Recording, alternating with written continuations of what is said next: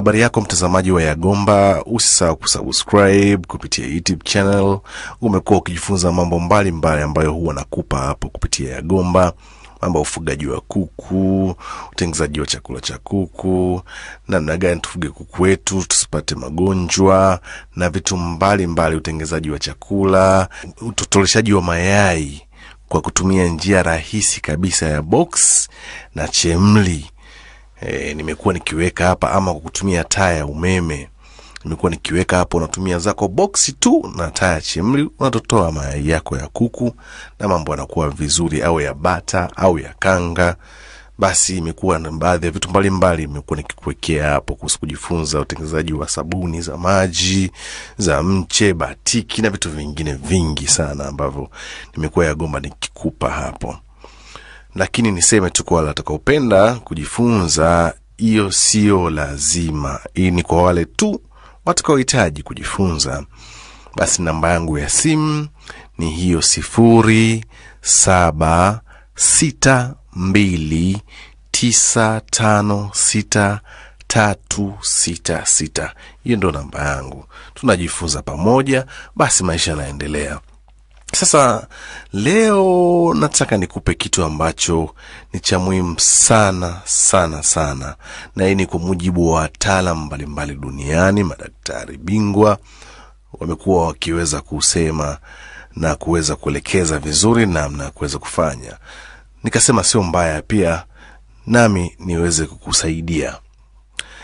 Hii ni namna ya kuweza kutengeneza sanitizer unaweza ukatengeneza sanitizer yako wewe mwenyewe, basi ukatumia wewe mwenyewe kwa ajili ya matumizi yako.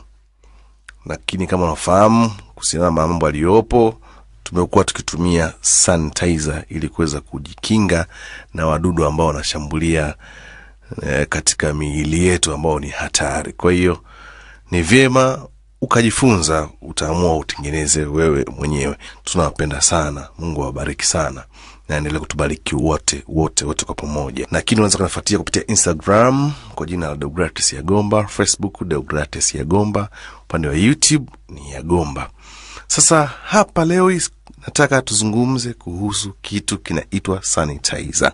Kama nilivyosema mwanzo, kuna namna ya kuweza kutengeneza hii sanitizer. Nimesema hii ni kwa mujibu wa wataalamu. Kifaa cha kwanza ni chupa na hii chupa walau likiwa ni kama lina kale ka mlija, unaweza kuwa una ukiwa umeshaimimina mle ndani ya chupa, basi kuna kale ka mlija kanakuwa unapokuwa unabonyeza kanavuta e, ile sanitizer mle ndani, basi inatoka kama kama mvua hivi au kama kama kama tone ndogo ndogo. Kwa hiyo tunahitaji kuwa na hiyo kitu e, machupa hayo ni kama yale ya perfume yao pia anaweza kufanya kazi kama namna hiyo, na machupa mengine ambayo huwa ya design design hiyo ambayo yana mlija ndani, ambayo unaweza ukawa unavuta na inauzwa, inauzwa vizuri tu katika maeneo ambayo uliopo. Hilo ni kitu, kitu cha kwanza. Kitu cha pili ambacho kinachohitajika pia ni perfume. Kitu cha tatu kinachohitajika ni alcohol, alcohol ambayo ni ya asilimia sitini. Hapa ngoja nizungumze kidogo. Kuna pombe aina mbalimbali au kuna alcohol za aina mbalimbali ambazo unakuta zina asilimia sitini ama zaidi. Sasa hapa wataalamu wanasema kwamba ni alcohol kuanzia asilimia sitini ndiyo nzuri zaidi. Hicho ni kitu kingine, lakini vilevile pia kifaa kingine kinahitajika ni alovela maji yake ya aloe au kwa nkesi labda umekosa hiyo aloe vera, unaweza ukatumia kitu kingine. Hii ni griselini, griselini. Hivyo ni vifaa ambavyo tunahitaji kuweza kuwa navyo wakati wa kutengeneza hiyo sanitizer, lakini pia unatakiwa uwe na sehemu ya kuchanganyia kama kijiko pamoja na, na, na kipimo maalum ambacho kitakachokusaidia kujua kwamba hapa ninaweka kwa kiwango gani. Kwa hiyo hiyo ni namna ya baadhi ya vifaa ambavyo vilivyopo. Sasa tuanze na kazi ya kila kifaa. Kila kifaa kina kazi yake. Wataalamu wamesema kwa upande wa na alkoo alcohol ambayo asilimia sitini, kwa mujibu wa wataalamu wanasema kwamba vidudu hivyo haviwezi uh, kuhimili ile alkohol ya asilimia hizo, kwa hiyo vinakufa haraka. Lakini vile vile pia Uh, kuna kitu kingine kinaitwa perfume. Perfume ni kwa ajili, si lazima sana, lakini ni nzuri kwa sababu inateka harufu nzuri pale mtu anapokuwa anakuwa na anajisanitize pale, basi unakuta hali inakuwepo nzuri zaidi katika mikono yake, kwa maana ya kwamba kuna harufu harufu inatokea.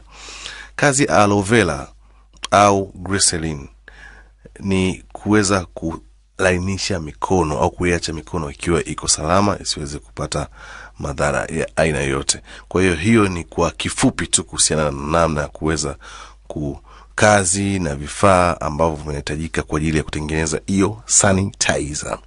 Sasa tuje katika upande mwingine, hii ni namna gani? Je, tunatengeneza hiyo sanitizer?